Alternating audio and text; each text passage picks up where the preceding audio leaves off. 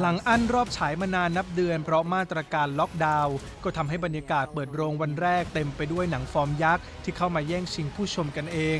ทั้ง Black Widow จากค่าย Marvel The Conjuring The Devil Made Me Do It และ A Quiet Place Part 2 แม้ก่อนหน้านี้จะมีกระแสว่าผู้ชมชาวไทย อาจทำได้แค่ดูผ่านแพลตฟอร์มสตรีมมิ่งเพราะหนังเข้าฉายไปแล้วในต่างประเทศ อย่างไรก็ตามแนวโน้มตลอดเดือนตุลาคมนี้ คือขบวนพาเหรดหนังบล็อกบัสเตอร์ฮอลลีวูดไม่ว่าจะเป็น 007 No Time to Die ที่เลื่อนฉายมาตั้งแต่ปลายปีก่อน รวมถึง Shang-Chi and the Legend of the Ten Rings Fast and Furious 9 และ Don't Breathe Part 2 โดยหนังไทยที่มีกำหนดฉายตุลาคมนี้มีสัดส่วนเพียงหยิบมือเท่านั้น คือโกงพลิกเกมในช่วงปลายเดือน และร่างทรง หนังรางวัลของบรรจงปิสัญธนะกูล หนูว่ามันไม่มีจริงอะ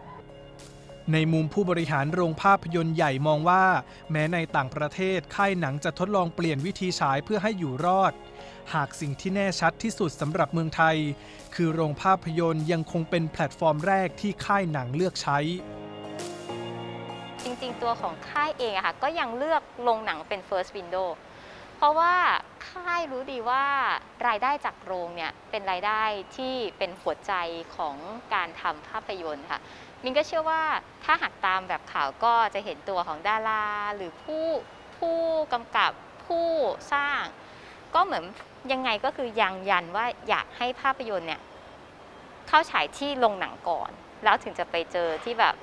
channel อื่นๆ ซึ่งจริงแล้ว ถ้าถ้าหากเทียบกันแล้วนะคะ มันไม่ได้แตกต่างกับสมัยก่อน ที่เรามีวิดีโอที่เรามี DVD ที่เรามีอะไรอย่างเงี้ยค่ะ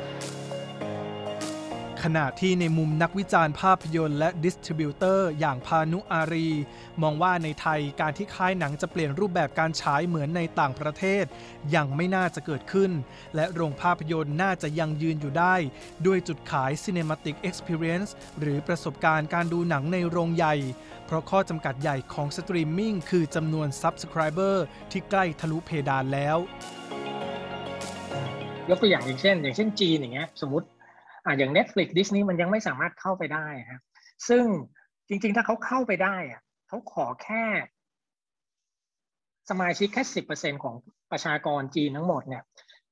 เขาจะได้เขาจะได้สมาชิกเพิ่มเนี่ยประมาณเกือบห้าสิบเปอร์เซ็นของสมาชิกที่มีอยู่ณปัจจุบันเพราะตอนนี้อย่าง Netflix มากที่สุดในโลกก็ประมาณสองร้อยกว่าล้านใช่ไหมครับเอาเป็นว่าสมมติถ้าเขาเจาะจีนได้เนี่ยเขาก็จะได้เขาก็จะได้แบบ ได้มาอีกสักร้อยล้านหรือร้อยห้าสิบล้าน มันก็ยิ่งทำให้เขา เขาเติบโตมาก แต่ในสภาวะที่เขาไม่สามารถเจาะได้ะฮะคือไม่เฉพาะแค่ Netflix นะรวมถึงแบบค่ายอื่นๆเนี่ย มันทำให้ตอนเนี้ยต่อให้เขาพยายามแค่ไหนนะครับมันก็จะมีตัวเลขของของของ subscriber เนี่ย มันมันมันมันจะมีเพดานของมันนะ ท้ายที่สุดโรงภาพยนตร์จะยังคงอยู่ได้ในฐานะส่วนหนึ่งของช่องทางฉายแบบไฮบริดเช่น ภาพยนตร์เรื่อง On the Job ของฟิลิปปินส์ที่ผู้สร้างนำหนังภาคแรกปี 2013 และภาคล่าสุดปีนี้มาตัดต่อใหม่ ฉายในรูปแบบซีรีส์ 6 ตอน หรือจะเป็นการเปลี่ยนตอนจบของแอนิเมะญี่ปุ่น ให้เป็นภาพยนตร์ฉายโรง ก็เป็นอีกวิธีสร้างมูลค่าเพิ่มให้กับผลงาน กวินพบพันธุเริกไทย PBS รายงาน